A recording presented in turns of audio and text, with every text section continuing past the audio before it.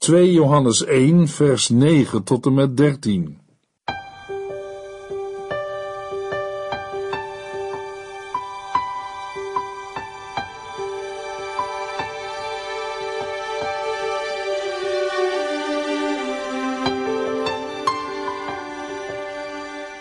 Hartelijk welkom bij De Bijbel Door, een programma van Transworld Radio.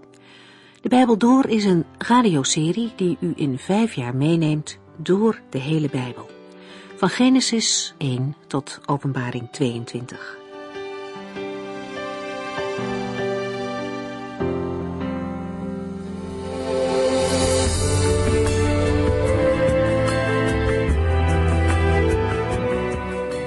We lezen momenteel de tweede brief van Johannes en het is een korte brief die we vandaag ook weer afsluiten. Terugkijkend op de afgelopen studies komen twee onderwerpen sterk naar voren uit deze brief. Allereerst de oproep om in liefde met elkaar om te gaan. Dat gebod is een van de belangrijkste. We vinden het de hele Bijbel door. Maar liefde is niet het enige kenmerk van een christen. Leven in waarheid hoort daar net zo goed bij. De gedachte dat het christendom neerkomt op naaste liefde is te beperkt. Liefhebben van anderen hoort bij christenen, maar het begint met het liefhebben van Christus, die de waarheid zelf is. Christen zijn heeft alles te maken met gelovig aannemen van de waarheid, die via de Bijbel bij ons gekomen is. Johannes waarschuwt in zijn tijd al voor dwaalleraren die gelovigen op een verkeerd spoor zetten.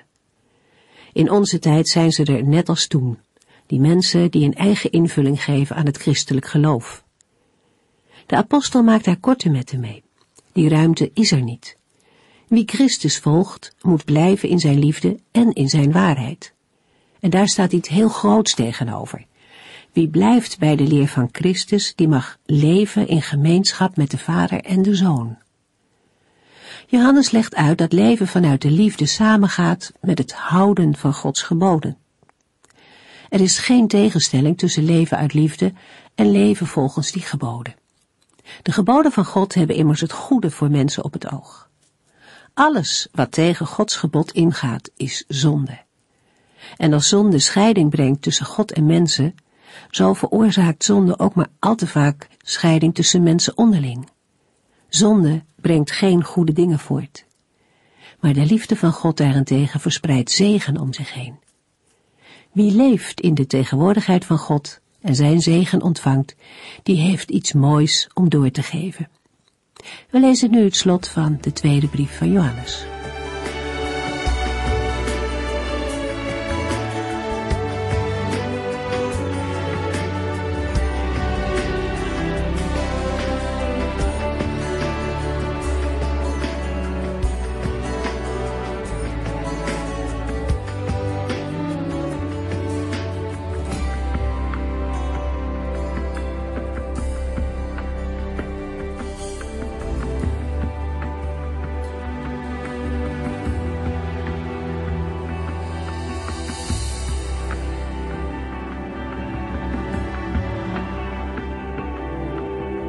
Laatste vers in de vorige uitzending was 2 Johannes 1 vers 8.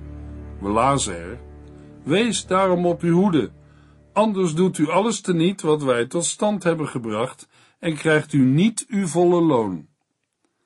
Na geschreven te hebben over de dreiging die er van de misleiders uitgaat, waarschuwt Johannes de lezers om datgene wat zij in Christus ontvangen hebben en waarbij hij zelf als apostel een belangrijke rol heeft gespeeld, niet te verliezen. Het missionaire en pastorale werk dat de apostel Johannes heeft gedaan, zal voor niets zijn geweest als de lezers zich door de misleidende leraren laten overtuigen. Het gemeenteleven staat op het spel. Vandaar de klemmende oproep van de apostel Johannes: wees daarom op uw hoede. De oproep wees op je hoede komt in het Nieuwe Testament vaker voor. De woorden staan vaak in tekstgedeelten waar gesproken wordt over de eindtijd die komende is en waarbij waakzaamheid geboden is. Het leven als christen vraagt om voortdurend attent te zijn en niet te bezwijken voor dwaalleraars.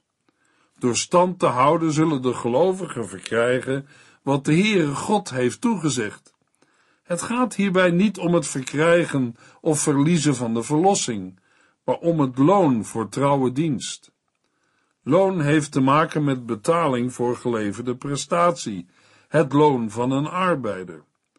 Het volle loon wacht aan het einde van het leven. 2 Johannes 1 vers 9 Wie verder gaat dan wat Christus ons geleerd heeft, heeft geen gemeenschap met God. Maar wie zich houdt aan wat Christus ons geleerd heeft, heeft niet alleen gemeenschap met Hem, maar ook met zijn Vader. De misleiders zijn over de schreef gegaan. Ze hebben de leer van en over Christus achter zich gelaten. Johannes zegt dat deze valse leraren verder zijn gegaan, zo ver zelfs dat ze God achter zich hebben gelaten. Immers, wie Christus verlogent, logent ook de Vader. Dat had de apostel ook al in zijn eerste brief geschreven. In 1 Johannes 2, vers 23 en 24 lezen we: Want wie niet in de zoon gelooft, kent ook de Vader niet. Maar wie in de zoon gelooft, kent ook de Vader. Blijf trouw aan wat u in het begin gehoord hebt. Als u dat doet, zult u altijd één zijn met de zoon en de Vader. Niemand kan een geloofsrelatie met God de Vader hebben buiten de Heer Jezus Christus, zijn Zoon, om. De Heiland heeft dat zelf aangegeven in Johannes 14, vers 6, waar hij zegt: Ik ben de enige weg tot de Vader. Als jullie mij kennen, zullen jullie ook mijn Vader kennen. Voor de woorden wat Christus ons geleerd heeft, lezen we in het Grieks de leer van Christus. Met de leer van Christus kan zowel het onderwijs van Christus zelf zijn bedoeld, als ook het onderwijs over Christus. Dit laatste ligt met betrekking tot vers 9, in verband met vers 7, meer voor de hand. Het is de leer over Christus die de apostelen hebben doorgegeven en verkondigd. 2 Johannes 1 vers 10 Als iemand bij u komt om u iets anders te leren, laat hem dan niet binnen en groet hem zelfs niet. De waarschuwing in de versen 7 tot en met 9 wordt gevolgd door een concrete maatregel vanwege de ernst van de dwaalleren. Met het woordje als geeft de apostel Johannes aan dat de mogelijkheid van de komst van deze dwaalleraars in de gemeente levensgroot aanwezig is. Zij trekken rond en kloppen bij gelovigen aan. De maatregel die Johannes in vers 10 geeft, betreft de gastvrijheid die in de oudheid, ook in de jonge christelijke gemeente, hoog stond aangeschreven. Een dergelijke gastvrijheid was voor reizigers en rondtrekkende predikers noodzakelijk in verband met de omstandigheden van die tijd. In Romeinen 12, vers 13 schrijft Paulus aan de gelovigen: Help de gelovigen die tegenslag hebben en doe altijd uw best om gastvrij te zijn. In 1 Timotheus 3 geeft apostel Paulus zijn medewerker Timotheus aanwijzingen voor voorgangers en helpers. Hij schrijft: Als iemand graag een leidende rol in de gemeente wil hebben, is dat een goed verlangen. Een van de aanwijzingen is: hij moet het fijn vinden om gasten te ontvangen en goed onderwijs kunnen geven. Aan een andere medewerker, Titus, schrijft de apostel in Titus 1 vers 8 over de leiders in de christelijke gemeente. Zij moeten hun gasten hartelijk ontvangen en al het goede liefhebben. Zij moeten ook verstandig en eerlijk zijn en bovendien geestelijk en sober. In Hebreeën 13, vers 1 tot en met 3 lezen we over gastvrijheid. Blijf als broeders en zusters van elkaar houden. Wees altijd gastvrij voor vreemdelingen. Daardoor hebben sommigen zonder het zich bewust te zijn engelen in huis gehad. Denk aan de mensen die in de gevangenis zitten, alsof u zelf gevangen was. Denk ook aan de mensen die mishandeld worden. Omdat u zelf ook een lichaam hebt, kunt u met hen meevoelen. Ten slotte lezen we in 1 Petrus 4 vers 9, Wees gastvrij voor elkaar, zonder te mopperen. Gastvrijheid is een concrete uitwerking van het elkaar liefhebben. Het Griekse woord voor gastvrij is samengesteld uit twee woorden, namelijk liefde en vreemdelingen. Letterlijk vertaald betekent het woord dan ook liefde voor vreemdelingen. Daarmee wordt herbergzaamheid en gastvrijheid bedoeld. Op de achtergrond van deze opdracht om gastvrij te zijn, staan de woorden van de Heer Jezus uit Matthäus 25, vers 35 en 36, waar we lezen: Want ik had honger, en u hebt mij te eten gegeven. Ik had dorst, en u hebt mij te drinken gegeven. Ik was een vreemdeling, en u hebt mij in uw huis uitgenodigd. Ik had niets om aan te trekken, en u hebt mij kleren gegeven. Ik was ziek, en u hebt mij opgezocht. Ik zat in de gevangenis, en u bent bij mij geweest. En als iemand vraagt, wanneer heb ik dat dan gedaan? Dan zal de Heer Jezus zeggen, toen u dit voor een van mijn minste broeders hebt gedaan, deed u het voor mij. Met de maatregel om geen dwaalleraars binnen te laten en onderdak te geven, herinnert Johannes de gemeenteleden eraan dat ze ook zelf vreemdelingen en pelgrims zijn. En pelgrims verlenen elkaar onderdak, zolang zij de stad met de vaste fundering of fundamenten nog niet hebben bereikt en het definitieve einddoel nog niet is gekomen. De oproep tot gasvrijheid heeft ook praktisch te maken met het feit dat de verschillende christelijke gemeenten niet over eigen gebouwen beschikten, maar bijeenkwamen in de huizen van de gelovigen, om daar het brood te breken, dat wil zeggen het avondmaal, de maaltijd van de Here te vieren en samen te bidden. Gasvrijheid moest ook verleend worden aan rondreizende predikers. We lazen bij de apostel Petrus, wees gastvrij voor elkaar, zonder te mopperen. De gelovigen zullen gastvrij zijn, zonder te mopperen, want ook bij gastvrijheid hoort de liefde voorop te staan. Mopperen is een barrière voor een hartelijke omgang met elkaar. De weigering om de dwaalleraars gastvrij te ontvangen had niet alleen een principieel karakter, maar ook een praktisch gevolg. De confrontatie met de werkers van het kwade moet niet worden gezocht en aangegaan. Het werk van dergelijke mensen wordt op deze manier bemoeilijkt en daarmee hun invloed ingeperkt. Een tweede element is dat beïnvloeding van de gastheer of gastvrouw vermeden moet worden. Johannes is kennelijk bang voor een negatieve invloed. Zelfs het groeten van zulke valse leraars is niet toegestaan.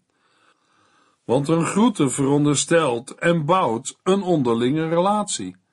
Daarom zou een groet de dwaalleraars kunnen bevestigen en bovendien de gelovigen medeplichtig maken aan het kwaad dat een dwaalleraar aanricht.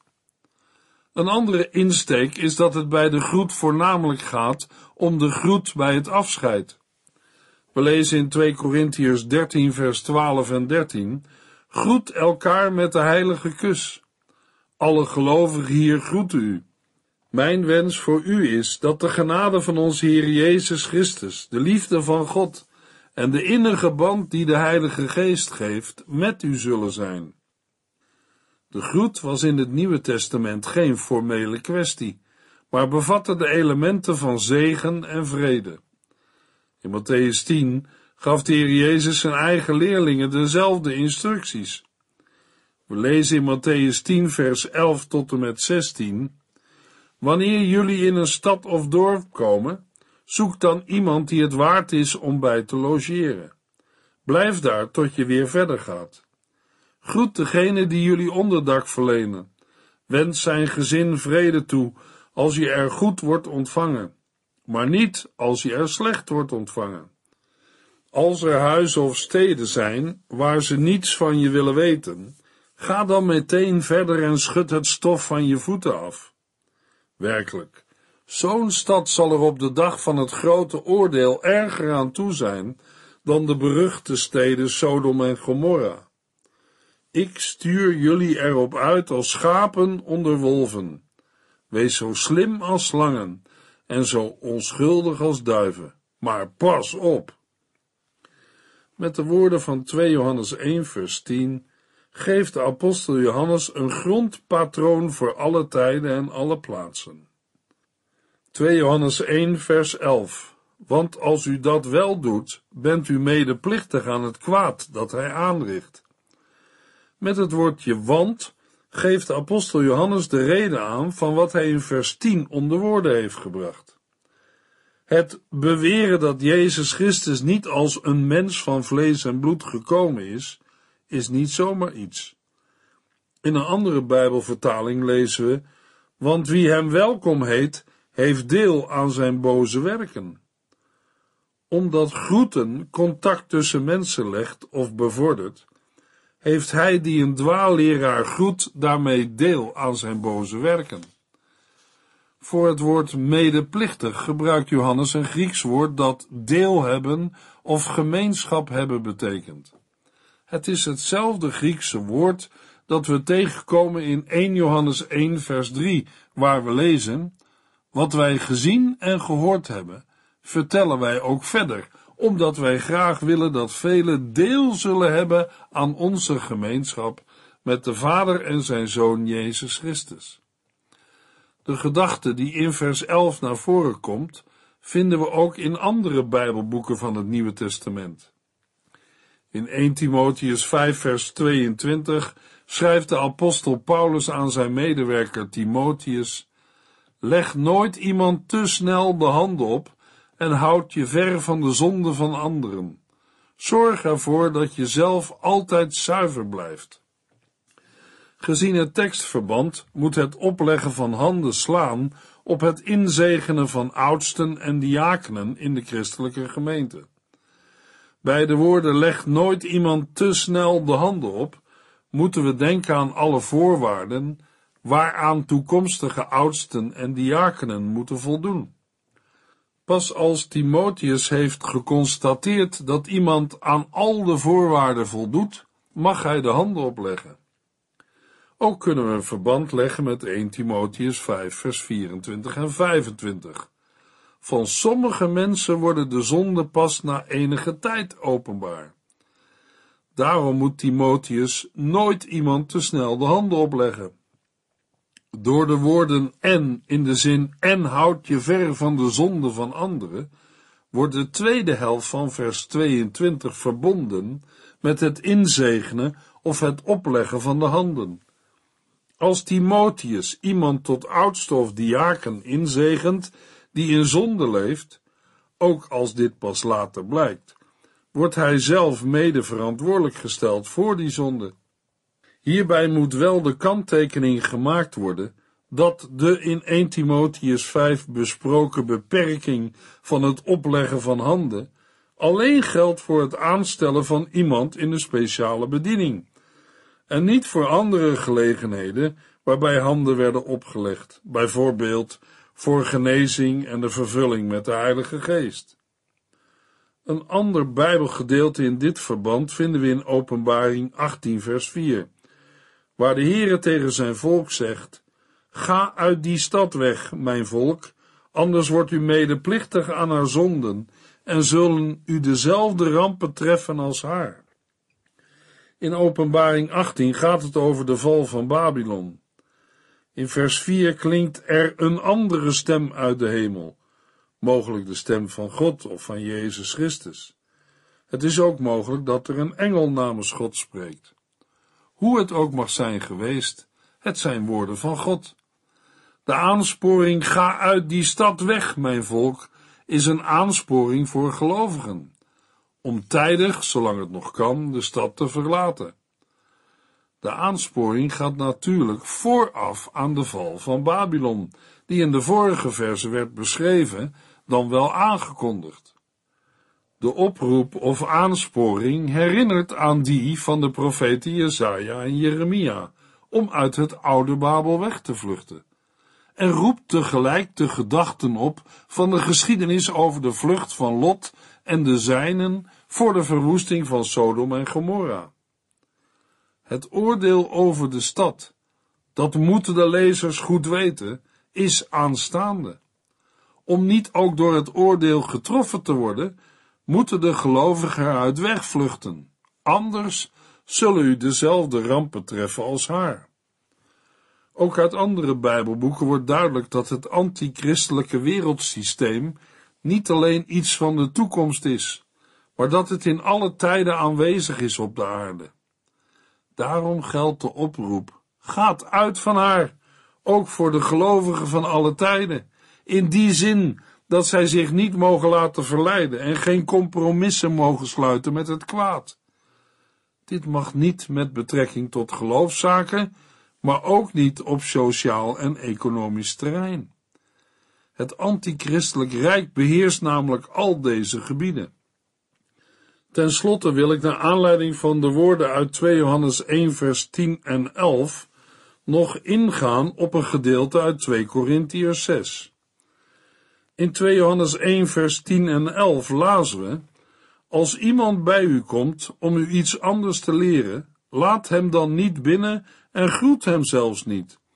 Want als u dat wel doet, bent u medeplichtig aan het kwaad dat hij aanricht. In het genoemde Bijbelgedeelte spreekt de apostel Paulus gelovigen aan. We lezen in 2 Korintiërs 6 vers 14 tot en met 18 Verbind u niet met mensen die niet van de Here houden. Wat hebben recht en slecht met elkaar te maken, of licht en donker? Wat voor overeenkomst is er tussen Christus en de duivel? En wat voor gemeenschappelijks heeft een gelovige met iemand die niets van Christus wil weten? Wat voor eenheid kan er bestaan tussen Gods tempel en die van de valse goden? Ja, wij zijn de tempel van de levende God, die heeft gezegd: Ik zal bij hen wonen en bij hen zijn. Ik zal hun God zijn en zij zullen mijn volk zijn. Ga daarom uit hun midden weg, keer u van hen af en raak het onreine niet aan. Dan zal ik u aannemen, ik zal uw vader zijn en u zult mijn zonen en dochters zijn, zegt de Heere, die alle macht heeft. De woorden uit 2 Johannes 1 vers 10 en 11, als ook de aangehaalde gedeelten uit andere Bijbelboeken, maken diepe indruk, maar kunnen ook vragen oproepen. Bijvoorbeeld kan een zendeling wel gaan wonen op een plaats waar de zonde en de afgodendienst welig tiert en alles bepaalt. Kan ik wel blijven wonen waar ik nu woon, midden tussen mensen die van God nog gebod willen weten en alles doen wat de Heer in zijn woord heeft verboden? Het zijn indringende vragen waar niet 1, 2, 3 een antwoord op te geven is. We zullen ermee in gebed naar de Heer moeten gaan. Aan de andere kant moeten we bedenken dat het gaat om situaties waarin de zonde en de antichristelijke machten gelovigen van de Here proberen weg te trekken. Zeker, gelovigen kunnen van de Here de opdracht krijgen om zijn evangelie op zulke plaatsen te gaan verkondigen. Toch kan er een moment komen als in Matthäus 10 vers 14 en 15, waar we lazen, als er huizen of steden zijn waar ze niets van je willen weten, ga dan meteen verder en schud het stof van je voeten af. Werkelijk, zo'n stad zal er op de dag van het grote oordeel erger aan toe zijn dan de beruchte steden Sodom en Gomorra.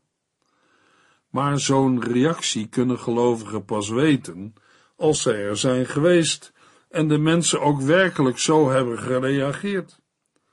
Als de Heere zegt, ga uit die stad weg, mijn volk, dan moeten gelovigen gehoorzamen, want dan staat het besluit van de Heere vast. Want als u dat niet doet, bent u medeplichtig aan het kwaad dat wordt aangericht, en zullen u dezelfde rampen treffen als haar. Daarbij gaat het niet om onze inschatting van de situatie, hoe wij erover denken of wat wij ervan vinden, maar om gehoorzaamheid aan de Heere en een zich laten leiden door de Heilige Geest. 2 Johannes 1 vers 12 en 13 Ik heb u nog veel meer te zeggen, maar ik wil dat niet per brief doen. Ik hoop naar u toe te komen en er persoonlijk met u over te spreken. Dan zal onze vreugde compleet zijn. U ontvangt de hartelijke groeten van de kinderen van uw zuster. Uit de schriftelijke nalatenschap van de apostelen blijkt dat een gezaghebbend woord op schrift gesteld veel invloed uitoefent. In de Griekse tekst lezen we in vers 12: Ik heb u veel te schrijven, maar ik wilde dit niet doen met papier en inkt. Bij papier zullen we moeten denken aan een blad of rol papyrus, afkomstig van de papyrusplant die vooral in Egypte wordt gevonden. Inkt werd meestal gemaakt van roet vermengd met water. Johannes heeft berichten over misleiders gehoord en probeert via deze brief mogelijke gevolgen, zoals verwarring en geloofsafval, voor te zijn. Maar zijn brief is beknopt. Het belangrijkste heeft hij onder woorden gebracht. De reden dat hij zijn tweede brief beëindigt, is dan ook niet omdat hij geen tijd of onderwerpen meer heeft. Integendeel, hij heeft nog veel te schrijven en dat lezen we ook aan het eind van de derde brief. Johannes geeft de voorkeur aan persoonlijk contact. Ook de apostel Paulus eindigt zijn brieven vaak met de wens of het voornemen zijn lezers persoonlijk te bezoeken. In Romeinen 15 vertelt Paulus waarom hij de gelovigen in Rome nog steeds niet heeft bezocht. Namelijk door zijn drukke zendingsactiviteiten naar mensen die nog nooit van Jezus Christus hebben gehoord. Maar de apostel zegt er direct achteraan, in Romeinen 15 vers 22 tot en met 25, dat is de reden dat ik telkens weer verhinderd werd naar u toe te komen. Maar ik ben nu klaar met wat ik hier moest doen. Als ik ooit naar Spanje ga, kom ik bij u langs, want daar verlang ik al jaren naar. Ik hoop u op doorreis te ontmoeten en, na eerst een tijdje van uw gezelschap te hebben genoten, door u uitgeleide te worden gedaan. Voorlopig is het nog niet zover. Ik ben nu onderweg naar Jeruzalem om de gelovigen daar geld te brengen. In de tweede brief van Johannes lezen we dat ook Johannes de gelovigen persoonlijk wil bezoeken. De apostel besluit zijn brief met een groet. In de volgende uitzending maken we een begin met de derde brief van de apostel Johannes. We lezen dan 3 Johannes 1, vers 1 tot en met 3.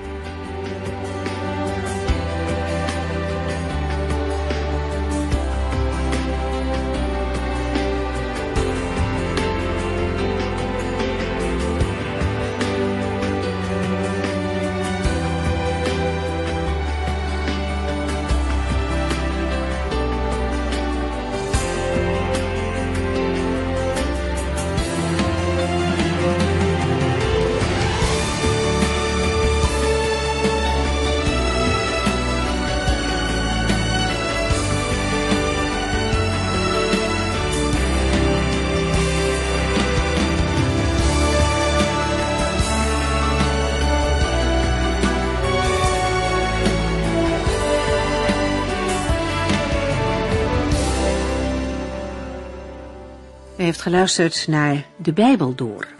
In het Nederlands vertaald en bewerkt door Transworld Radio. Een programma waarin we in vijf jaar tijd de hele Bijbel doorgaan. Als u wilt reageren op deze uitzending of u heeft vragen, dan kunt u contact met ons opnemen. Tijdens kantooruren kunt u bellen op 0342 47 8432. 0342 47 8432. 32.